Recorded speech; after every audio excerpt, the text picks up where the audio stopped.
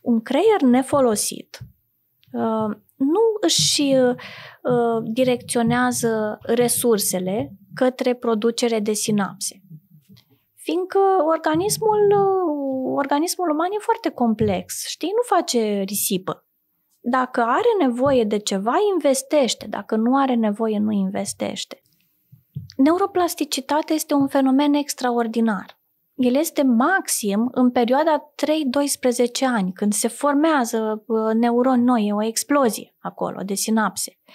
Dar neuroplasticitatea este prezentă toată viața. Da? Și avem uh, regenerare neuronală și la adult și la vârstnic, doar că la alte rate. Uh, ce face neurofeedback-ul? Neurofeedback-ul are uh, uh, niște electrozi în mm-hmm. senzibandul acela care se pune pe, pe frunte, are niște electrozi care recoltează informații de la zonele de activitate uh, ale creierului. Informațiile acelea sunt transferate printr-un soft într-o tabletă, în tableta cu care se lucrează. Și în funcție de ceea ce uh, senzorii respectivi uh, preiau de la activitatea creierului nostru, uh, în uh, aplicația de pe, de pe tabletă se întâmplă sau nu se întâmplă niște lucruri.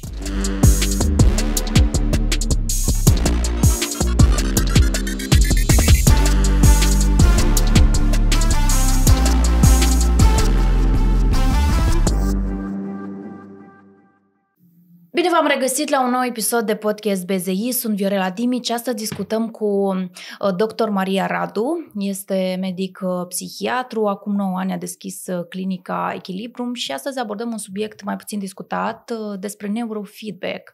Um, vorbim și despre metode alternative de vindecare a tulburărilor psihice. Până începem discuția, vă reamintim că partenerul nostru principal este Balcan balcan.ro. Uh, aveți 10% reducere în momentul în care cumpărați orice produs uh, de pe site uh, dacă folosiți codul BZI 10 la finalizarea comenzii. Ținuta pe care o port astăzi este semnată ca de fiecare dată de brandul Concept Antroa. Pe această cale le mulțumim. Haideți să începem. Bine ai venit, Maria, și sper să-ți placă această discuție, dar să fie și cu utilitate. Bine te-am găsit și sunt convinsă că îmi va plăcea tare mult pentru că vorbim despre un lucru care pe mine mă pasionează și nu știu, de când, de când mă știu în, în zona asta de lucru cu, cu oamenii, uh, mi-a plăcut să înțeleg mintea omului și uh, m-a făcut curioasă. Iar curiozitatea, eu zic că e motorul tuturor lucrurilor. Cum te descrii tu pe tine? Ce faci tu? Eu am um, încercat așa să zic uh, câteva, câteva lucruri despre tine, dar uh, aș vrea să ne spui mai amplu. Um, ca um, prezentare profesională și îți mulțumesc uh, tare mult că ai început totuși și um, Mulțumesc și că am avut discuția aceea la, la început despre uh, cât de mult trebuie să povestești despre tine atunci când începe o astfel de, uh, un astfel de dialog. Uh, sunt medic uh, primar, psihiatru. Asta primariatul este un grad de, de maturitate, deci na, mă pot considera senior. uh, și pentru că sunt o fire curioasă, am avut mereu această um, această plecare către cercetare. Ăsta e motivul din care, din care am făcut uh, doctoratul. Um, ceea ce am cercetat atunci a fost uh, despre conectarea interumană și anume că uh, oamenii, când uh, sunt scoși din izolarea lor și ajung să se conecteze în rețele de suport social sau când ajung efectiv să se conecteze cu o singură persoană, dar persoana aceea să reprezinte uh, ceva semnificativ în viața lor, atunci uh, severitatea tulburărilor lor uh, psihice se uh, ameliorează simțitor. Și Uh, pornind de la, de la treaba asta, um, am continuat. Da, am continuat să experimentez, am continuat să cercetez, am continuat să fiu curioasă și am uh, continuat să pun în practică ceea ce am aflat despre oameni, despre calitatea interacțiunii, despre cât de important pe lângă tratament este să oferi uh, căldură și disponibilitate și um, asta este ceea ce facem. Uh, consultăm uh, oameni care vin cu, cu o problemă medicală, uh, le oferim soluții și îi facem să conștientizeze că problema lor nu e doar medicală sau nu are doar o soluție de tip chimic. Într-un fel sau altul, um, tu susții și metode alternative de tratament, nu doar cele medicamentoase. Deci îți place și să abordezi și partea aceasta de... Da, da, pentru că omul este foarte complex, dar acum prin alternativ eu nu înțeleg că nu tratăm ceea ce trebuie tratat. În schimb, cred că dacă este să mergem în profunzimea lucrurilor, tratamentul medicamentos face o chestie face creierul disponibil pentru. Da? Depresia, de exemplu. Um, cu toții uh, experimentăm tristețe și tristețea e normală, face parte din uh, dinamica normală a unui creier. Doamne ferește cine nu poate simți tristețe. Um, dar dacă tristețea asta devine copleșitoare, dacă tristețea asta devine dezadaptativă, dacă invadează toate domeniile vieții și face ca omul să nu se mai poată conecta, să nu-și mai poată face treaba, să nu mai poată fi prezent în familie, da? atunci există uh, variante medicamentoase care reglează chimia creierului încât omul să fie din nou disponibil către uh, a experimenta bucurie, interes, entuziasm. Da? Și asta se poate. Ă, dar ă, am fi obtuși să nu ne gândim ce face un om să ajungă în starea asta. Pentru că dacă nu mhm. ne gândim, în momentul în care noi am întrerupt tratamentul ă, chimic, durează o vreme până ce viața mai face un cadou în ghilimele și pacientul nostru are aceleași mecanisme de coping care l-au dus în disfuncție prima dată. Da? Ce o să facă? O să reia tulburarea și o să o luăm de la capăt, de unde l-am lăsat și mă gândesc că nu ne facem treaba complet dacă ne limităm doar la asta. Cred că lucrurile trebuie să meargă împreună. Um, tratăm chimic ceea ce e de tratat chimic și uh, ne uităm la cum am putea să uh, dăm niște arme, cum am putea să dăm niște instrumente pacientului în așa fel încât să nu revină în aceeași situație după o vreme. Inițial uh, ai spus că ești o fire foarte curioasă. Sunt. Da, și reieșind din uh, uh, această trăsătură pe care ai, bănuiesc că din acest motiv ai ales să faci psihiatrie. Da, și din acest motiv. Avem timp să zic o poveste, nu? Sigur. Bun, ne apucăm de poveste atunci. Um, eu am tratat uh, medicina cu multă curiozitate pe tot parcursul uh, facultății. Dar asta și pentru că uh, era interesantă și era provocatoare și era așa ca un, uh, ca un joc la care cu cât uh, știi mai mult și cu cât avansezi mai mult în questul ăla, uh, cu atât primești mai multe puncte bonusuri. Că nu, eram copil. Sau aproape copil. Și um, spre sfârșitul facultății um, am întâlnit o specialitate care era teribil de diferită de tot ceea ce am făcut până atunci. Și dintr-o dată lucrurile nu mai erau despre cum, uh, a, e fain, e interesant și hai să vedem uh, cum, uh, cum luăm punctajul maxim și aici.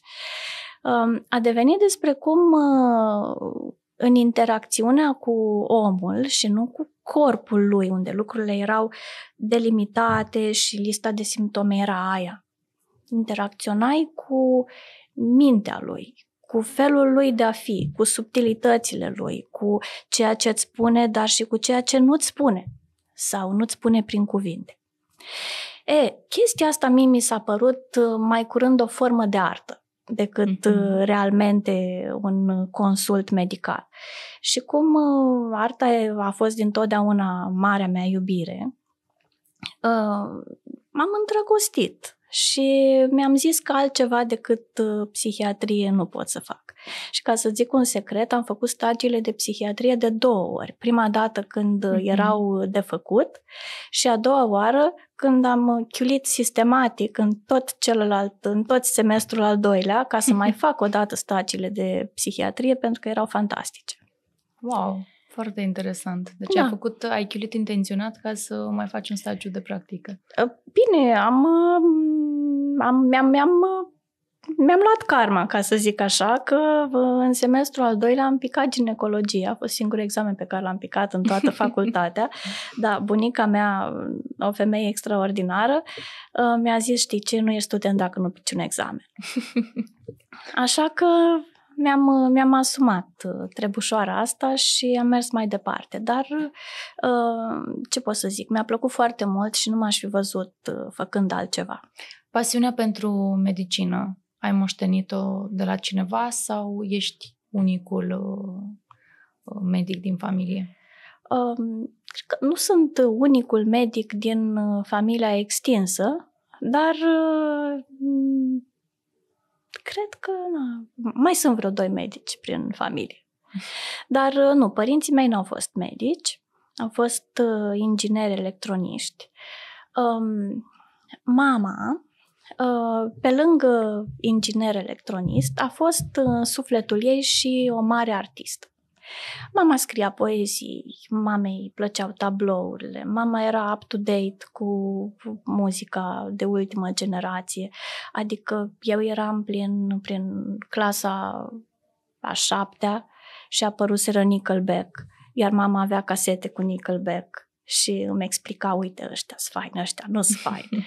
Asta e muzică așa de... um, da, mama a fost, a fost grozavă și um, o tipă ușor excentrică, uh, ceea ce eu cred că pe mine m-a învățat că în viață trebuie să fii curajos și că trebuie să aduci cumva pasiunea ta și frumusețea ta și chestia pe care tu o faci special și, și bine în, în orice. Dacă, na, mama făcea inginerie cu sufletul ăsta al ei frumos. Ai învățat de la mama ta să fii curajoasă, anume acest curaj te-a ajutat uh, acum 9 ani să deschizi împreună cu colega ta clinica Echilibru? Um, asta m-a învățat uh, să fiu uh, artistă și să pun notele de, um, nu știu, notele de uh, o extravaganță. Notele de asta facem noi special pe echilibru. Cred că tata a fost antreprenorul uh, în familie și de la el am învățat uh, chestia asta, că la un moment dat um, trebuie, dacă vrei să vezi că se întâmplă ceva, să iei tu frâiele în mâini și, uh, să-i, uh, și să-i dai drumul. Cum a apărut această necesitate de a deschide o clinică? Tu ești director medical la clinica Echilibru și îmi spuneai că acum câțiva ani împreună cu colega ta ați simțit nevoia să deschideți o altfel de clinică pentru că nu este doar despre psihiatrie. Așa este. Um, și Echilibru are o poveste frumoasă tare. Um, și tot așa, mergem un pic în urmă în timpul uh, rezidențiatului. În primul rând vreau să zic că eu am avut mentori extraordinari în timpul rezidențiatului. Și apoi, uh, în timpul doctoratului, doamna profesor a fost uh, absolut extraordinară, doamna profesor Chiriță, și vreau să-i mulțumesc pe calea asta. Iar în timpul rezidențiatului, eu și colega mea am făcut uh, o perioadă lungă de timp la clinica 1 Femei se numea atunci, cu uh, domnul doctor Turliuc. Um, carismatic, uh, didactic și am învățat mult mai multe de la el decât doar cum să, cum să prescrii tratament. Am învățat uh, cum să te conectezi, am învățat uh, cum să-i transmiți pacientului încredere, disponibilitate. Și uh, doctorul Turluc ne, ne explica și lucruri despre, despre viață și despre carieră. Așa încât uh, acolo colectivul era foarte unit, că eram cu toții uh, foarte tineri și ca niște bureți, avizi uh, de, de informație și uh, bucuroși să învățăm.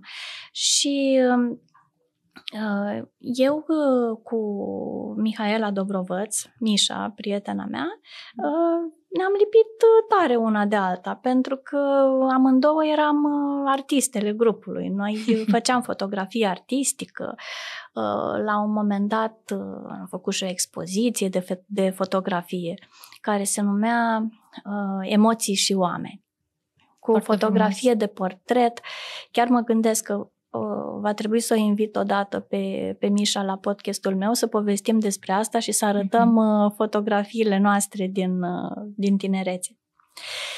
Ei, și am, am păstrat uh, prietenia asta. E o prietenie pe care am păstrat-o cu, cu mulți dintre colegii de acolo și cu uh, doctorița Gerasim și uh, cu Sebi, soțul ei și uh, era un colectiv foarte fain, foarte fain. Mă leagă niște amintiri minunate de perioada aceea.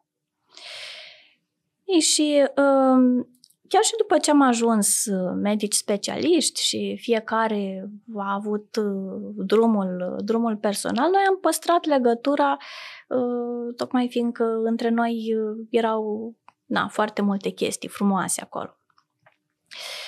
Iar la un moment dat ne-am dat seama, și eu și ea, că e foarte greu pentru pacientul psihiatric E foarte greu să răzbească, să spargă cutiuța asta a bolii psihice. Uh-huh. Adică un pacient care venea cu un bilet de trimitere de la psihiatrie, aproape oriunde, uh, era privit ca nebun, da? Și atunci... Adică, să dăm un exemplu, îl doare inima și dacă are o tulburare psihică nu este luat în serios? Îl, sau adică la ce te referi? îl doare inima și are demență, hai să-l trimitem să-și vadă de demența lui întâi. Mm-hmm. Da? Și, și, de... și după aceea vedem ce se întâmplă mm-hmm. cu inima. Mm-hmm. Sau uh, are palpitații și tulburare anxioasă, îi dăm un Xanax și să nu ocupe locul aici la urgențe, mm-hmm. dacă e plin de bolnavi închipuiți. Mm-hmm. Trimitem la psihiatrie să-l rezolve.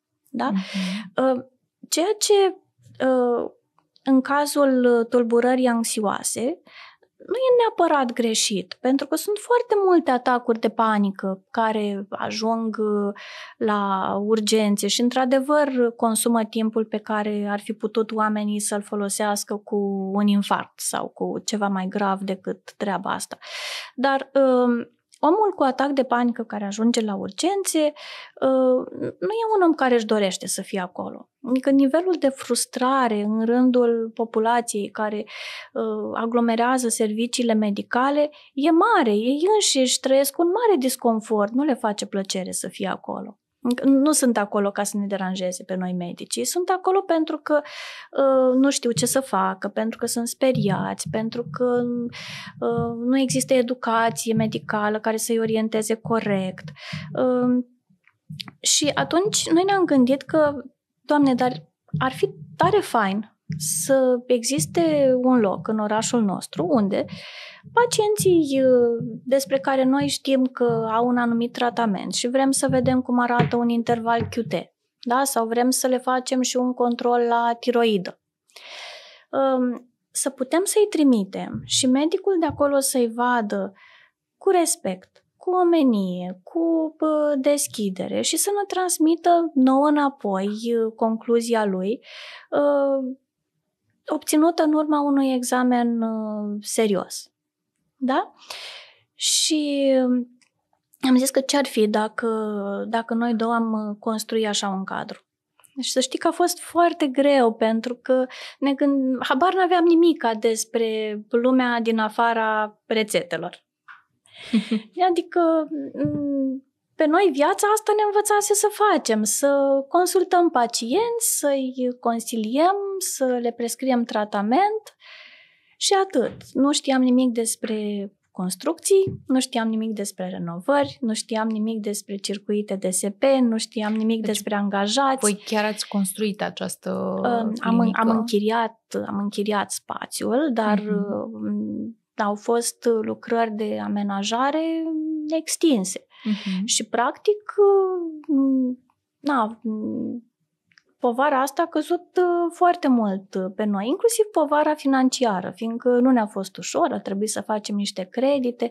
Um, am prins uh, o perioadă în care totuși se putea construi, fiindcă dacă am demara același lucru acum, probabil ar fi copleșitor pentru veniturile unei persoane na, salarizate la stat.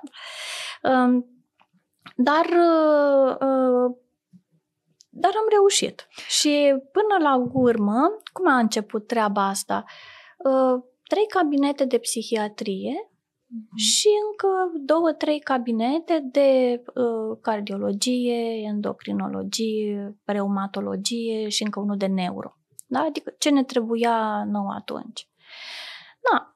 Și treptat lucrurile au crescut organic pentru că mm, oamenii uh, mulțumiți au povestit și altora și cererea s-a diversificat și noi n-am mai putut să mai gestionăm treaba asta doar noi două și a trebuit să ne informăm și să angajăm și să ne mărim echipa, dar totul a fost o aventură frumoasă. Momentan, uh, la Clinica Echilibrum se găsesc și servicii de cardiologie, neurologie și reumatologie, așa cum uh, spuneai. Uh, da, și, și pot încă vreo 20 de alte clinică? specialități, adică și chirurgie vasculară uh-huh. și colaborăm cu doctorul Raza, care este uh-huh. excepțional. Și uh, uh, la neurologie cu doamna doctor Diaconu, care și ea este minunată, dar avem și orele, avem și oftalmologie, avem și ginecologie, adică uh, uite, alergologie nu avem și ar trebui. deci, pornind de la ideea că pacienții psihiatrici uh, aveau anumite dificultăți atunci când ajungeau uh, la spital cu alte probleme decât cele da. psihiatrice, a apărut uh, această idee de a deschide clinica, însă momentan bănuiesc că nu doar pacienții psihiatrici vin la clinică, dar deja vin și cei care au nevoie, de exemplu, de un anumit da. serviciu medical. Bine sau totuși... bineînțeles. Uh-huh de echilibrium de foarte mulți ani. Nu mai este o clinică cu specific de psihiatrie. De foarte mulți ani. Adică, dacă zic echilibrium, zic foarte puțin psihiatrie.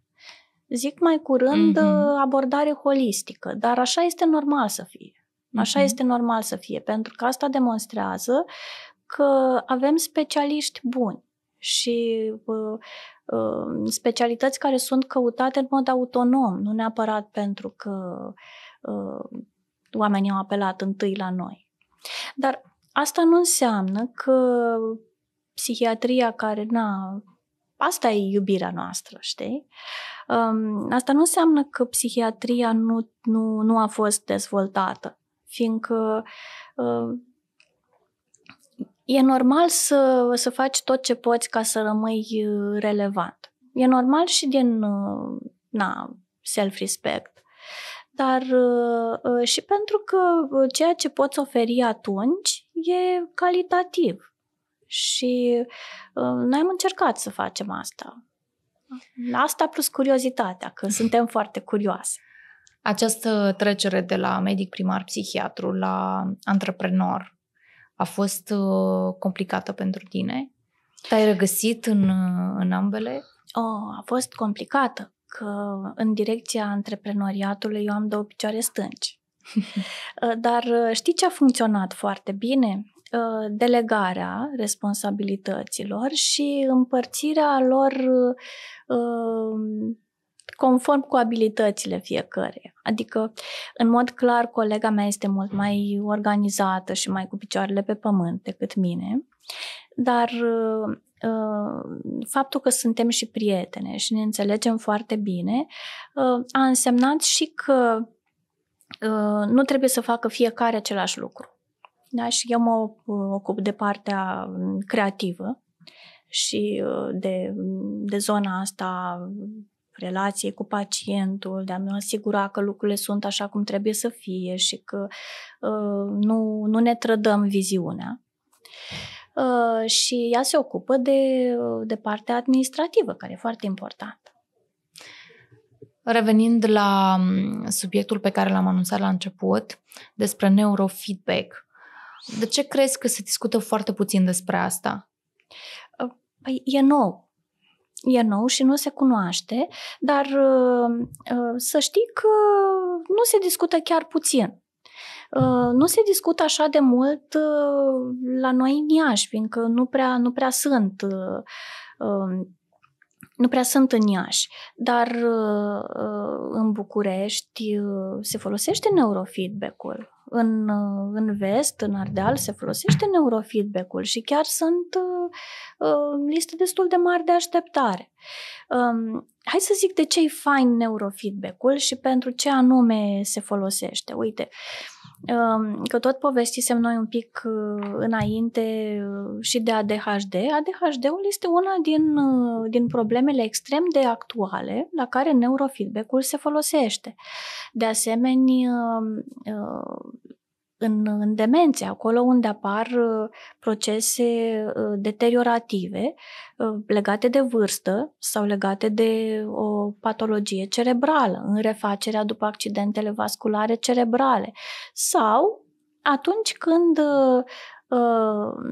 sistemul este depășit și trebuie antrenat. Fiindcă neurofeedback-ul ăsta, că el sună foarte frumos, dar cred că foarte puțin se știe despre el ce este. Neurofeedback-ul ăsta este un sistem de antrenament care uh, ne folosește uh, resorturile uh, motivaționale în uh, cel mai eficient mod.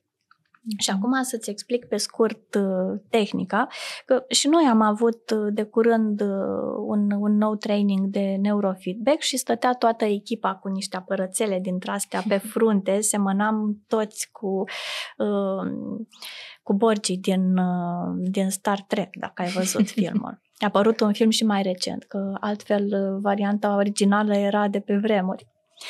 Um, dar... Uh, cu ce ne ajută acest neurofeedback? Deci este un deci, așa cum antrenăm anumite părți ale corpului, așa putem să antrenăm creierul. Așa putem antrena creierul, dar uite, creierul are nevoie ca un uh, măgăruș încăpățânat, uneori are nevoie de un morcov care să vină așa în fața lui și să-l uh, încurajeze să, să, să meargă înainte. Da, să meargă uh-huh. înainte și să-și depășească zona de confort.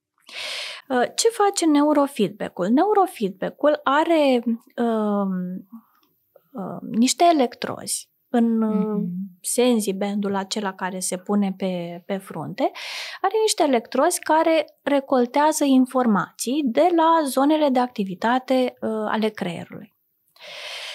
Informațiile acelea sunt transferate printr-un soft într-o tabletă, în tableta cu care se lucrează.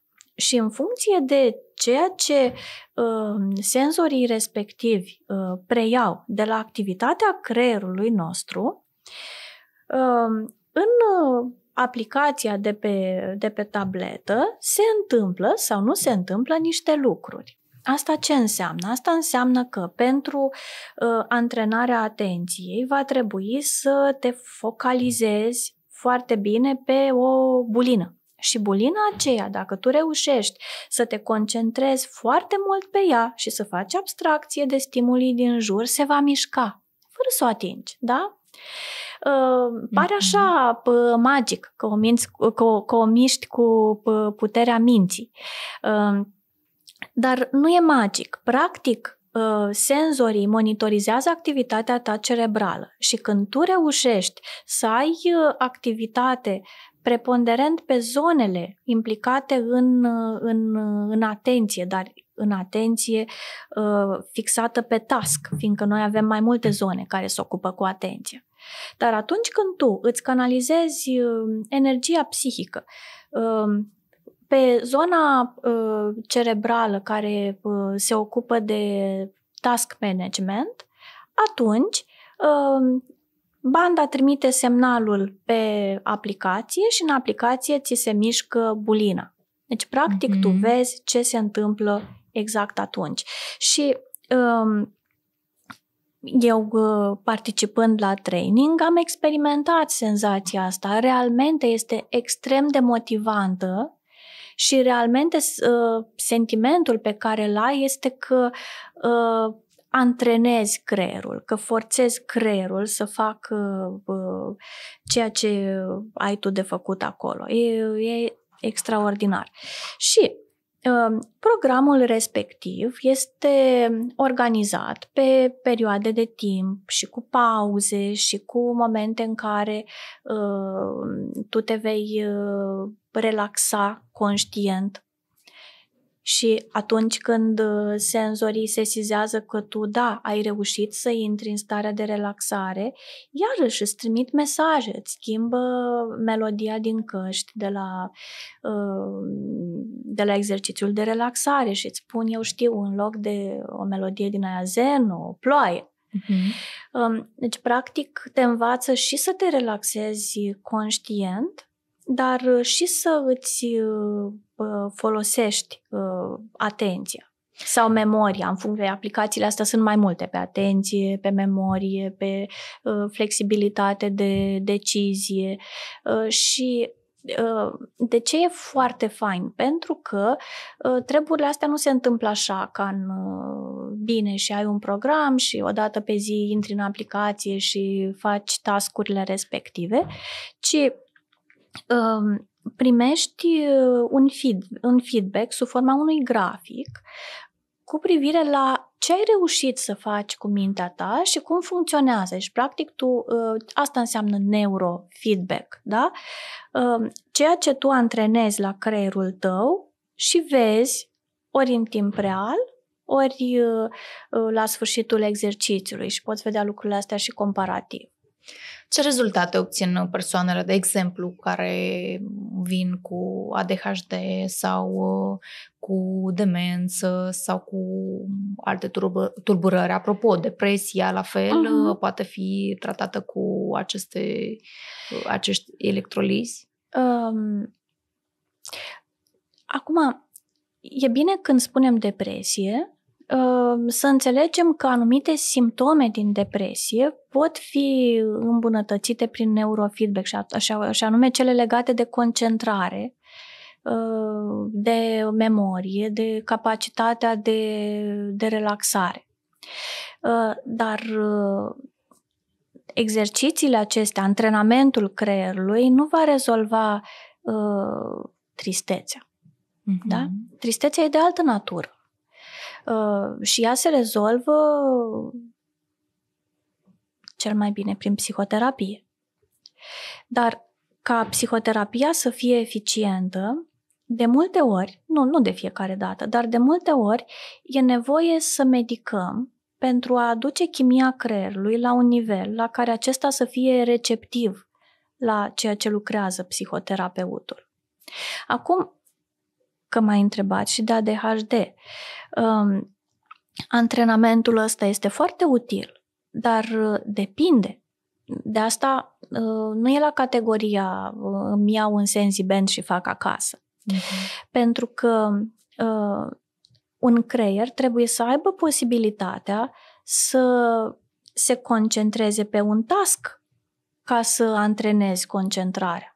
Dar dacă tu nu te poți concentra pe un task, de ce? Pentru că dopamina în ariile care modulează atenția este foarte scăzută. Asta se întâmplă în ADHD. Uh, și din cauza asta în, în ADHD, atunci când taskul este super interesant, uh, de multe ori pacienții cu ADHD pot să rămână ore în șir pe ceva ce îi pasionează, fiindcă uh, curiozitatea și entuziasmul uh, cresc nivelurile de dopamină. Da? Și atunci ei devin capabili să se concentreze. Ei, noi avem nevoie ca pacientul să aibă o chimie normală a creierului ca să putem antrena.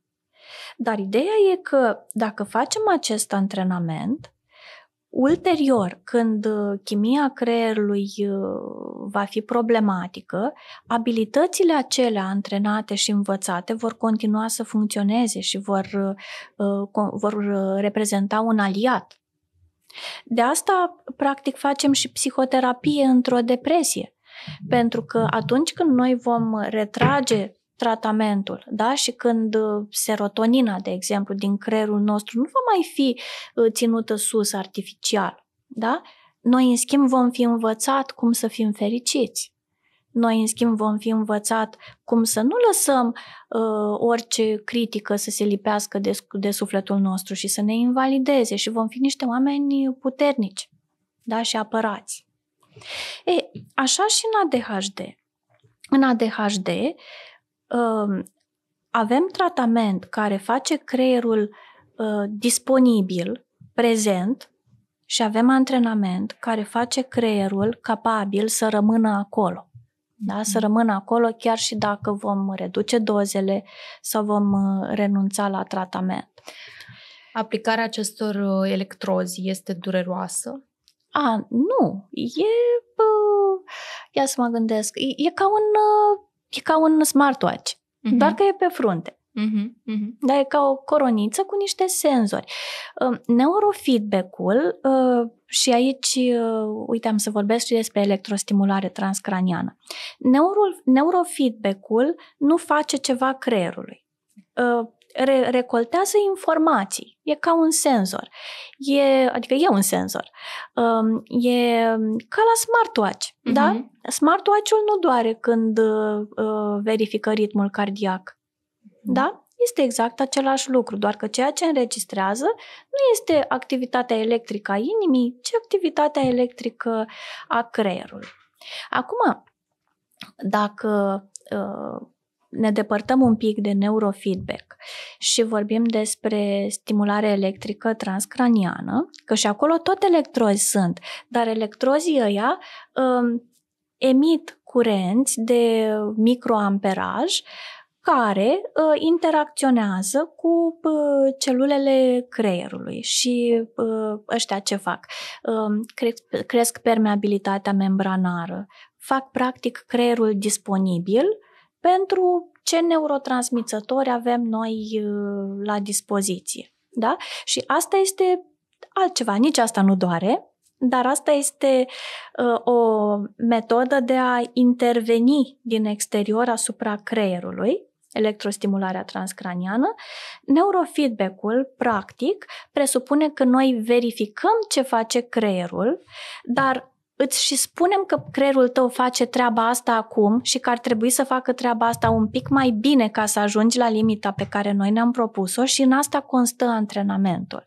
Și să știi că chiar e wow antrenamentul, e foarte fain pentru pentru ce am zis. A, și uh, vezi pe mine dacă mă pornești cu greu, ai să mă mai oprești. Dar um, e vina ta că tu m-ai întrebat și de demențe.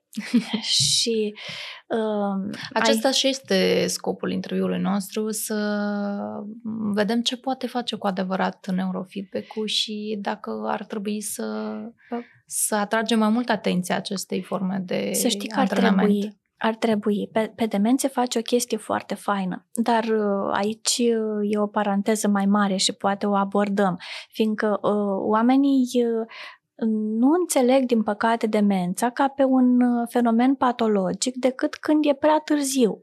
Că dacă pacientul deja nu mai știe cum îl cheamă și câți copii are, e târziu să faci neurofeedback. Da? N-ai cu ce. Um, activitatea, antrenamentul, ca să uh, parafrazez uh, un, un profesor de, de-ai mei, uh, funcția creează organul.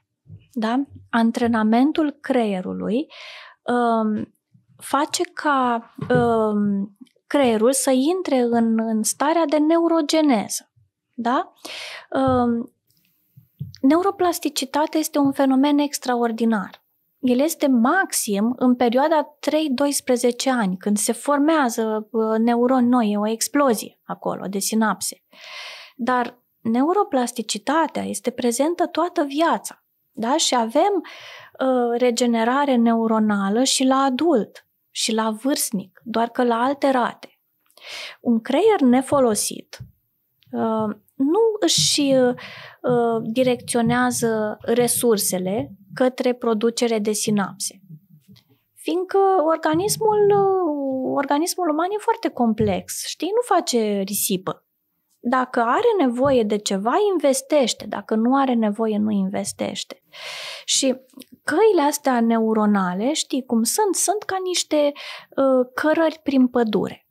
Da? Dacă o cărare este uh, bine bătută, uh, pe ea nu mai cresc buruieni.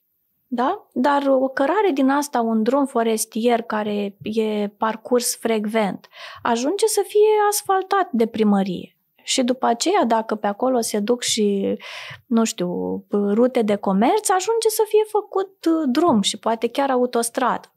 Da? Și asta se întâmplă și cu neuronii noștri. Căile neuronale pe care noi le folosim și le răsfolosim se cimentează.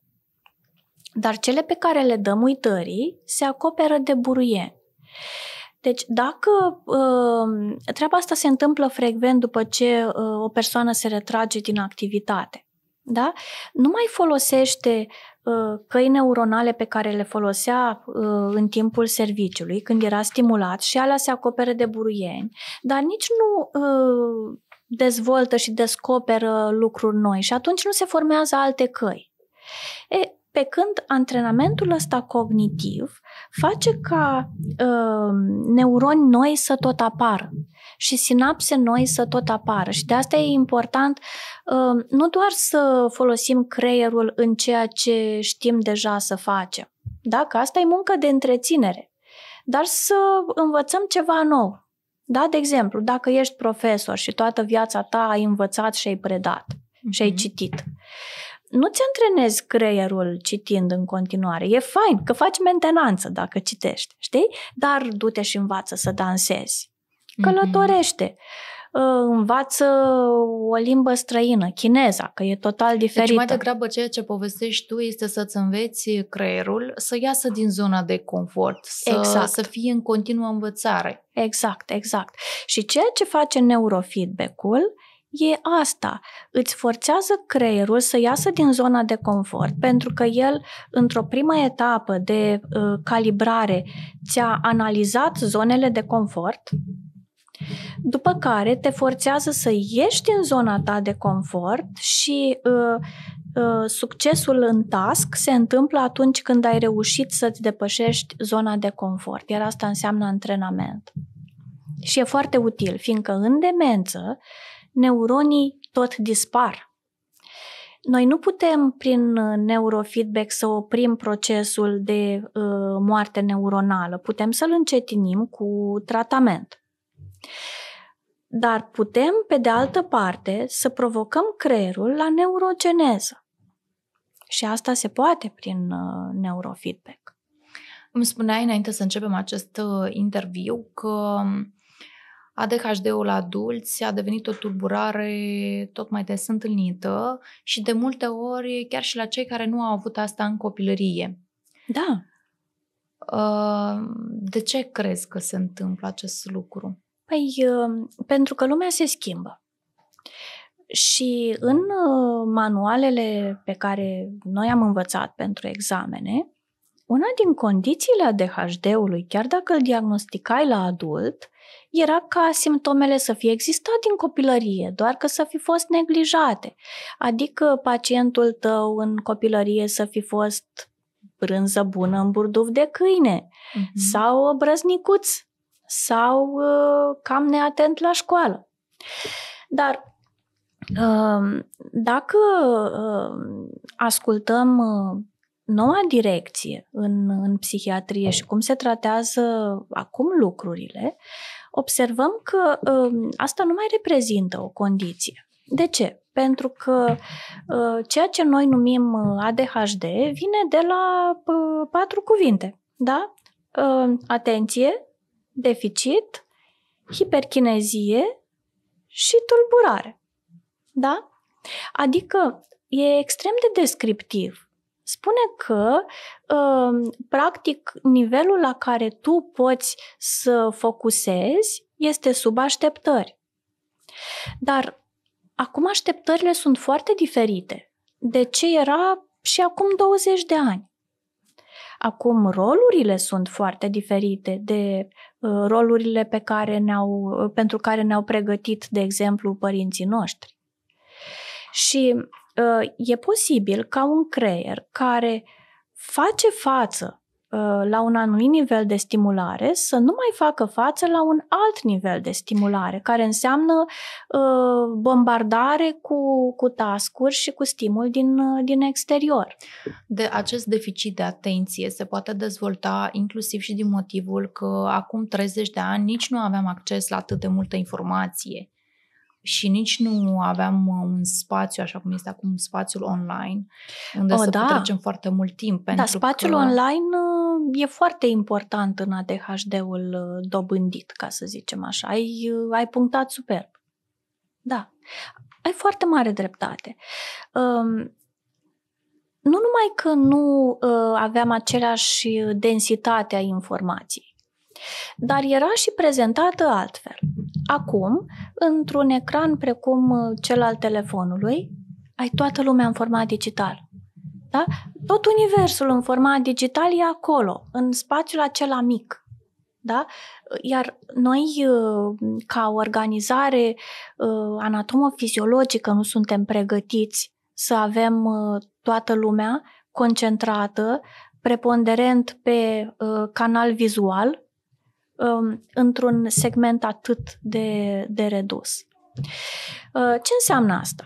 Asta înseamnă uh, informație cu nivel mare de stimulare, deci uh, dopamină în creier uh, în valuri și apoi informație normală care nu mai vine la pachet cu același nivel de, de dopamină, dar creierul nostru devine addicted sau nu addicted, ci uh, se adaptează la acele niveluri crescute de, de dopamină ca să uh, mențină focus și să fie în continuare prezent. Ei, și, uh, și da, uh, ecran uh, în perioada de, de dezvoltare uh, până în, în 18 ani înseamnă uh, la pachet și deficit de atenție. Nu deficit de atenție diagnosticabil, clinic, da, hai să-i punem pe toți pe medicație, că toți stau pe ecrane și copiii mei stau, da? Uh-huh. Dar e un lucru pe care ne-l vom asuma, probabil, fiindcă așa evoluează societatea noastră. Um, copiii noștri, adolescenții noștri, vor avea un nivel mai redus sub potențialul lor biologic al atenției din cauza asta, din cauza uh, dinamicii dopaminei din creier și a modului în care această dopamină este influențată de, de ecran. E, uh, dar ecranul și expunerea, expunerea îndelungată la ecran, precum și alte componente ale vieții moderne, ale modului în care ne comportăm la job, da, burnout-urile. Um, toată treaba asta creează și un uh, tablou al uh, deficitului de, de atenție, să spunem dobândit, da, care apare pe parcurs. Um, oameni care, efectiv, la un moment dat, nu mai fac față solicitărilor crescânde și atunci cu ei ce faci? Atenția aceea este antrenabilă? Este. Da? Um, focusul da, care devine instabil, ar putea fi menținut dacă creștem expunerea neuronilor la dopamină? Ar putea fi. Și atunci, ă, e discutabil. Mie nu-mi place să pun o etichetă de diagnostic, fiindcă oamenii sunt atât de diferiți între ei și să-i aduni pe toți în categorii după ă, cinci criterii dintr-un manual nu mi se pare corect. Dar reieșind din cele spuse, că um, realitatea din ziua de astăzi înseamnă foarte multă informație digitală, da. un volum la care creierul nostru încă nu este pregătit și încă nu s-a adaptat, reieșind din cele spuse, neurofeedback-ul ne-ar putea ajuta, adică aici mă refer la situația în care nu ne plângem pe ceva anume, dar putem să venim la aceste uh, ședințe da. pur și simplu cu scopul de profilaxie, de exemplu, uh, cu scopul, sau de antrenament. Cu scopul de antrenament, cu scopul de, uh, nu știu, dezvoltare personală. Mm-hmm. Da, pentru că, într-adevăr, antrenează foarte bine niște abilități foarte utile. Cât de des vin pacienții uh, și solicită neurofeedback? Pentru că ai spus că în Iași se discută mai puțin despre asta, respectiv uh, aș vrea să știu dacă este căutat. Um, este căutat, dar cred că nu este încă suficient de vizibil. Adică cred că oamenii nu știu. Uh-huh. Nu știu că, că se poate. Uh, și asta și pentru că și aici e vina noastră a doctorilor. Cine altcineva să facă educație medicală? Cine? Um, poate că și vorbim prea puțin despre asta, poate că ne și retragem fiecare în cochiliile noastre și uh, uităm că uh, primul pas în tratament e prevenția. Iar prevenția în tot ce înseamnă psihiatrie uh, și psihologie înseamnă educație. Asta e prevenția. Asta e prevenția la noi, e educație. Iar educația nu poate să vină în, din altă parte decât de la uh, oamenii specializați, oamenii formați, oamenii care știu despre asta și care ar trebui să vorbească. Iar aici uh, îmi fac mea culpa, că știu că și eu vorbesc uh, poate mai puțin decât uh, ar trebui despre toate lucrurile astea. De la ce vârstă poți face neurofeedback? Um, de când începi să citești, pentru că uh, multe dintre informațiile de care ai nevoie în, uh, în aceste aplicații sunt informații pe care le citești în instrucțiuni și e important uh, cum procesezi informația. Deci la, de la vârsta la care na, te alfabetizezi, poți să faci și antrenament cognitiv. Știi că sunt foarte mulți oameni care se tem de tratamentul medicamentos. Da atunci când vorbim mai ales de tulburări uh, psihice, pentru că în momentul în care uh, a fost stabilit uh, un tratament care nu neapărat este foarte potrivit pentru pacient, uh, acesta poate suferi mult de la, uh-huh. de la asta. Uh, aici, neurofeedback-ul iarăși ne salvează? Da, este o variantă nechimică și neinvazivă, adică um, este doar un, un context de antrenament care reușește să te țină focusat și motivat pe treaba asta.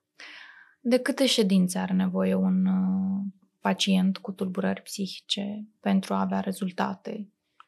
Clar, um, este individual pentru fiecare din ei, dar să vorbim așa în linii mari. Este individual, beneficiile se văd uh, și după câteva ședințe. Uh-huh. Ce spun pacienții după câteva ședințe? Bănuiesc că um, revin și ei uh, cu un feedback către tine. Păi, pacienții sunt entuziasmați, dar uh, vreau să spun un lucru. Inclusiv faptul că ei primesc un raport despre uite cum s-a comportat creierul tău, da? uite uh-huh. cum se comporta la început și uite cum se comportă acum, e, e o chestie de natură să-i, să-i motiveze da? și să spărească acest uh, entuziasm. Uh, dar uh, era și o carte care se chema așa, Atitudinea este totul. Uh-huh. Neurofeedback-ul reușește să construiască organic, să, să documenteze în urma acestui antrenament, să documenteze uh, modificările noastre în atitudine. Și asta e o chestie foarte importantă. E foarte important pentru că uh, dacă, dacă tu nu crezi în tine, da? Și foarte mulți oameni uh, ajung să, să nu creadă în ei, pentru că uh, solicitările sunt atât de mari încât e aproape imposibil să punctezi bine la toate. Da? Uh, ei, uh, e de natură neurofeedback-ul să îți arate științific, măsurat, pe creierul tău cum creierul tău poate și cum poate azi mai bine decât ieri. Um, doar pentru că ai fost perseverent și ai stăruit în treaba asta. Ei, iar ăsta e un rezultat foarte fain, care determină omul să facă în continuare și să se antreneze și să continue. La un moment dat, că asta e o chestie foarte faină, că uh, procesul nu dă dependență. Pentru că în urma lui omul învață cum să facă cum să facă mai târziu să-și antreneze atenția. Adică nu va trebui să revină din nou și din nou și din nou ca să le tot uh, repete, fiindcă din acest antrenament el învață și cum. Și cum să se motiveze, și cum să se focalizeze. Uh, Există și tulburări, de exemplu, în, în refacerea după accidente vasculare sau în, în demenție. Da, acolo tind să cred că programul ar trebui repetat și repetat și pentru că uh, natura bolii este una progredientă, nu staționară. Da? Dar în, uh, acolo unde nu vorbim de boală, că eu n-aș considera ADHD-ul o boală, mm-hmm. o mhm. consider o tulburare funcțională. Da? Sau um, acolo unde efectiv uh, vrem să ieșim dintr-un, uh, dintr-un burnout sau vrem să performăm mai bine. Asta nu sunt boli. Da? Ei, și uh, aici avem un creier capabil să, să învețe și să devină autonom și să facă toate chestiile astea ulterior singur. În timpul neurofeedback-ului, activitatea cerebrală este uh, într-un fel uh, urmărită în timp ce persoana se uită la imagini, video, Și jocuri. în timp ce rezolvă tascuri. Cine alege ce fel de imagini va vedea sau uh, ce fel de videouri și cum acestea îl impactează? Păi, uh, specialistul cu care lucrează. Uh-huh. Dar uh, ceea ce vede nu, nu e ca și cum vede acolo o serie de imagini ca în testele alea de personalitate mm-hmm. și mm-hmm. na, trebuie să spună ce îi se pare că seamănă. Um, sunt, uh, este o aplicație în care uh, intră și în funcție de uh, modul în care reușește să se concentreze sau să țină minte sau să ia decizii logice în funcție de uh, activitatea, de nivelul activității cerebrale de acolo măsurate prin electroencefalograma pe care asta mm-hmm. o, o realize, pe care sistemul o realizează, uh, dacă el uh, concentrează suficientă activitate psihică, suficientă activitate cerebrală acolo, reușește să depășească tascul. Mm-hmm. Iar uh, ce tascuri, adică ce, uh, ce laturi ale uh, învățării, concentrării, memoriei, abilității de a lua decizii alegem, este în funcție de evaluarea inițială și de obiectivele pe care ni le propunem. Pentru că dacă, de exemplu, avem un, un pacient care este uh, foarte bun pe memorie, da, obține la evaluare 96 de puncte din 100 sau chiar 100 din 100. Dar n-are sens să-i dăm uh, uh, aplicația de, de memorie. Da? El acolo se descurcă bine, nu asta vrem să antrenăm. Uh, vedem în urma evaluării inițiale care este zona care are nevoie de îmbunătățiri și pacientul va intra ulterior sau clientul, că nu toți au o boală, da? Va intra ulterior în antrenament pe uh, obiectivele pe care și le-a propus sau pe, pe zonele în care simte că poate fi îmbunătățit. Te întrebam pentru că uh, urmărisem un interviu în care uh, se spunea că pacientul poate alege, de exemplu, să se uite la un film pe Netflix în timpul neurofeedback-ului și uh, am vrut să precizez, să fie un pic de claritate dacă e la discreția lui și alege el ce vrea sau totuși... Da, uh... Um, da, poate alege, dar uh, asta nu înseamnă că în timpul ăsta creierul se antrenează. Înseamnă că dacă este curios ce face creierul lui în timp ce se uită la un film pe Netflix, mm-hmm. uh, poate să vadă, fiindcă banda respectivă îi va înregistra potențialele. Da, și o să vadă, uite, cât în timp ce eu mă uit pe Netflix, creierul meu face asta și asta în uh, lobby ăștia de mai sus. Cât despre costuri, ce presupune neurofeedback-ul? Um, ce întrebare bună! um, uite, la asta mi este foarte greu să-ți răspund pentru că, uh, după cum îți spuneau, eu sunt uh, partea creativă. Uh-huh. Uh, și uh, chiar nu știu să-ți spun treaba asta. Dar uh, recepția se pricepe la, la așa ceva. Uh, ceea ce pot să-ți spun este că nu sunt, nu sunt prețuri prohibitive. Uh, Practic, un pachet de, de neurofeedback uh, include uh, interacțiunile cu specialistul cu care se va desfășura uh, procesul și uh, taxa de, uh, de acces în aplicație. Uh, în aplicațiile, taxele de acces venind uh, direct din, din Singapore. Sistemul acolo este uh, făcut și de acolo ni se livrează. Ce alte metode de tratament avangardist uh, există la clinică? Uh, eu îți spuneam că noi facem și uh, uh stimulare electrică transcraniană. Uh-huh. Și um, e foarte faină. E foarte faină um, pentru că e o variantă care evită uh, chimicalele în organism. Um, îți spun lucrul ăsta, deși uh, meseria mea este să, să scriu rețete și uneori fără rețetă nu se poate. Dar alte ori, și am în minte câteva cazuri, uh, lucrurile au mers uh, extrem de bine uh, doar pe, doar pe varianta asta. Nu este ceva ce aș recomanda uh, ca linie întâi. Um, nu știu, poate pentru că am multă experiență cu, cu, cu medicația și uh, stimularea electrică reprezintă un element de noutate. Um, dar uh, din ceea ce am văzut, rezultatele sunt uh, incredibile când cele două merg împreună, iar acolo unde ai un motiv din care nu poți da medicație, da? Uh-huh. Ori nu vrea pacientul, ori uh, este intolerant, da? Ori are o comorbiditate care contraindică să, nu știu, pacientul o hepatită uh, avansată și tu nu-i poți da un medicament care tot prin ficat se duce. Da? Dar iată că poți folosi această metodă, care practic este totalmente uh, inocentă din punct de vedere chimic.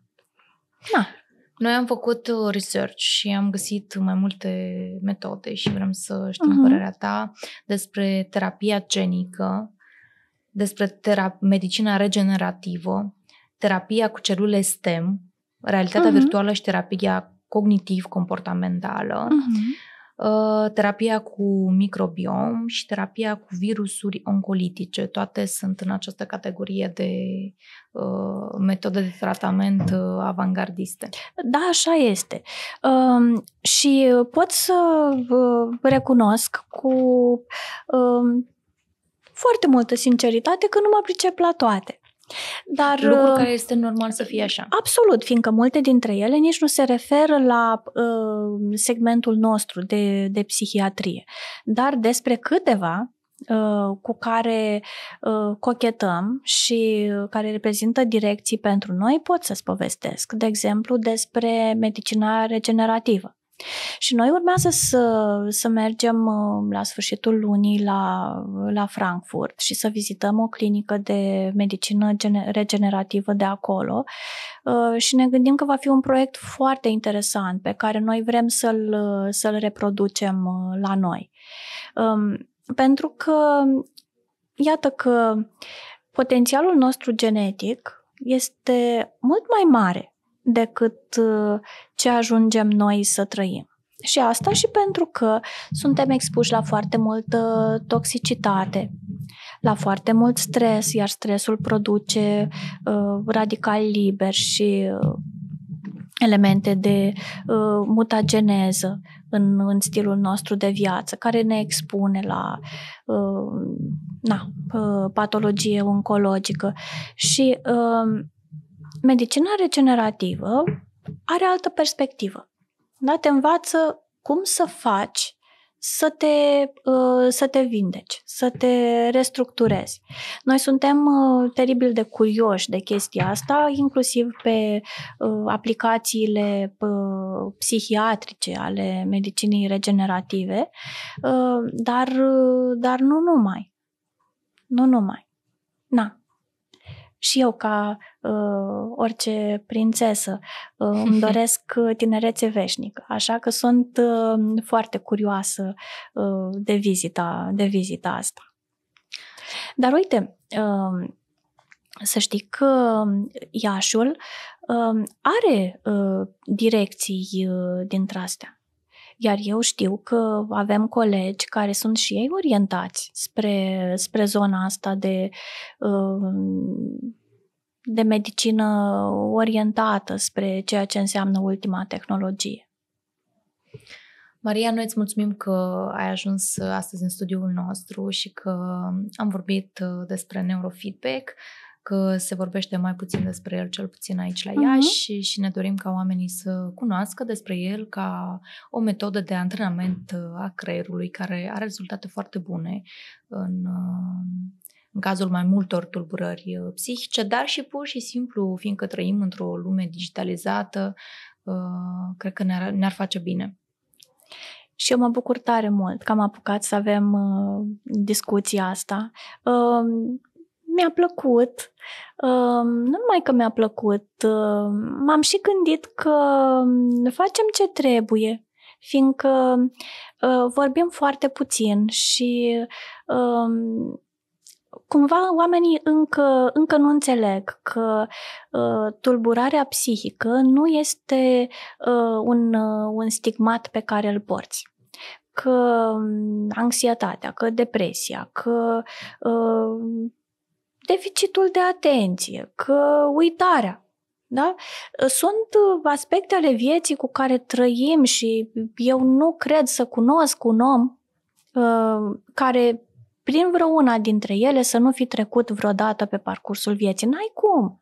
N-ai cum. Măcar o anxietate tot ai avut, că doar cu toți am dat uh, examene. Și e da, foarte bacul. important, da, bineînțeles, e foarte important să, să înțelegem despre ce e vorba și să înțelegem că uh, să mergi să, să fii consiliat cu privire la treaba asta, să înțelegi ceea ce trăiești și despre ce este vorba și ce poți face pentru tine ca să fii uh, mai bine, nu înseamnă că ești nebun. nu înseamnă că ești interesat de propria persoană și civilizat și disponibil spre, spre a te îmbunătăți și spre a-ți atinge potențialul maxim. Foarte bine punctat acest ultim uh, gând prin care încheiem uh, acest episod de podcast și te mai așteptăm și la alte uh, ediții uh, Marca BZI uh, în care vom putem aborda și alte subiecte despre tulburări psihice și metode de tratament, pentru că, cred eu, uh, uh, este, sunt cu utilitate astfel de interviuri. Cu mare drag oricând. Aici se încheie episodul nostru de podcast uh, BZI. Alături de mine a fost dr. Maria Radu. Am discutat despre neurofeedback, dar și despre parcursul ei, dar și despre alte metode avangardiste de tratament al tulburărilor uh, psihice. Uh, noi vă reamintim că aveți 10% reducere atunci când faceți cumpărături pe site-ul balcan.ro. Ei sunt partenerii noștri și vă îndemnăm să profitați din plin de această reducere folosind codul BZI10. La Arvedere.